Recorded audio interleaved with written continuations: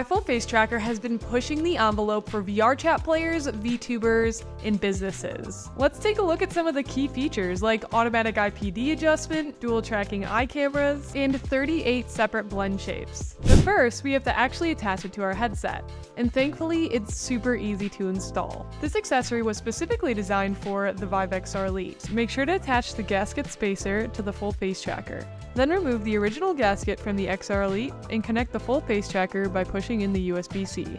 Don't forget to unfold the lower piece. Make sure to lock the lower piece once it's unfolded to secure its position. Start up the headset and it will guide you through a quick calibration process. Stand still and look forward while it reads the direction of your head. Next, the headset will calculate the distance between your eyes by looking at the blue dot on screen and by using its auto IPD feature. Then you'll follow a blue dot on screen to calibrate your eye tracking, and finally, you'll be brought to a screen where you'll focus on each dot as it glows up. This automatically adjusts the lens position for each user and dials in the visual clarity with a precise measurement that matches your face. This also allows you to easily pass the headset to others where it will recalibrate their eyes and track for them. Next, let's take a look at the dual tracking eye cameras. Using the infrared illuminators, the cameras capture your gaze origin and direction, as well as pupil size, pupil position, and eye openness. In more casual terms, the hardware can track your eyes and what you're focusing on. If we flip this piece down, we'll reveal the mono tracking face camera. This uses computer vision to track your facial movement. The camera can detect 38 blend shapes across the lips, jaw, cheeks, chin, teeth, and tongue. Tracking's captured at 60 Hz, allowing for a smooth and steady interaction.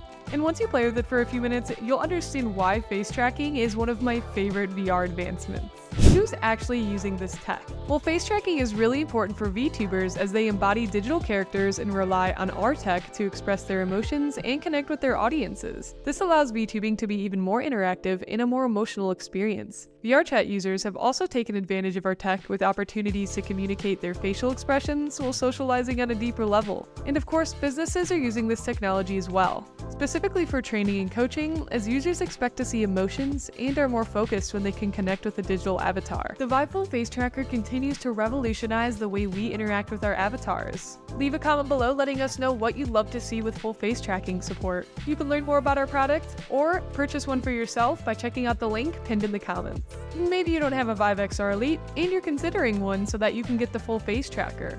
I recommend checking out this video next for more information on the XRE.